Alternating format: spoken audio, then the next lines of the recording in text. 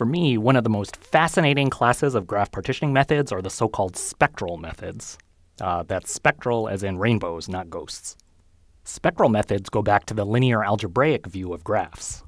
And they have what, for me, is a surprising physics based interpretation. We'll get there, but first, let's remind ourselves about the connection between graph structure and certain matrices. Consider an unweighted directed graph such as this one. Let's call this graph G. Now, let's represent it not by its adjacency matrix, but by an incidence matrix, C of G.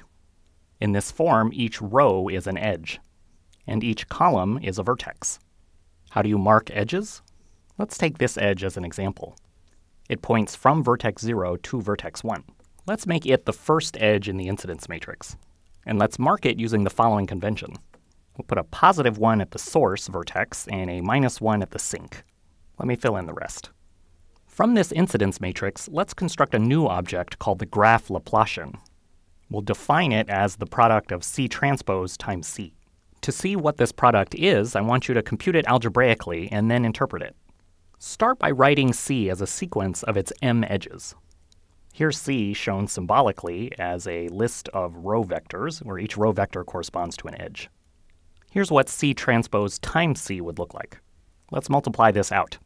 That is, C transpose C is the sum of a bunch of products. Each product is an edge represented as a column vector multiplied by itself represented as a row vector. To see what this is saying, let's take a closer look at one of these products. Each e sub k is some edge. Let's call it ij.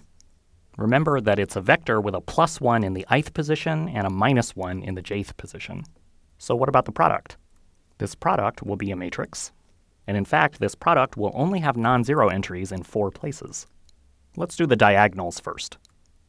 A diagonal entry will either be plus 1 times plus 1 or minus 1 times minus 1, which in either case is just plus 1. In effect, the diagonals are tallying the number of incident edges on each vertex. That's the diagonals. What about the off diagonals? The off diagonals will always multiply a positive 1 times a negative 1. In effect, the off diagonals indicate the presence of an edge. However, since both j i and i j are minus 1, you've effectively lost the direction information. Put another way, the graph Laplacian is telling you something about the undirected form of the original graph in the event that the original graph was directed. Now, this is what one of these products tells us, but what about the sum? Well, let's see. The diagonals count the degree of each vertex. Let's represent that by a diagonal matrix D, where the diagonal entries are the degrees of each vertex. And let's say there are n vertices in all.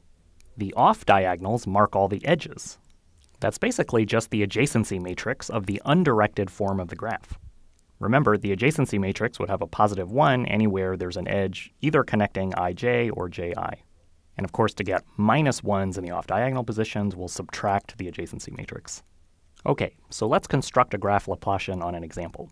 Step 1 is to throw out the directions. Then build a diagonal matrix D that contains the degrees of each vertex. This example isn't very exciting because every vertex has degree 3. Then build the adjacency matrix, which marks all the edges. Again, this example isn't very exciting because it's basically fully connected, so there are 1s in all of the off-diagonal entries. Finally, the graph Laplacian is just d minus w. In this case, that's this thing. Take a moment to contemplate the graph Laplacian. Once you've done so, you can move on to the more interesting question of how do I use this doohickey to actually partition a graph?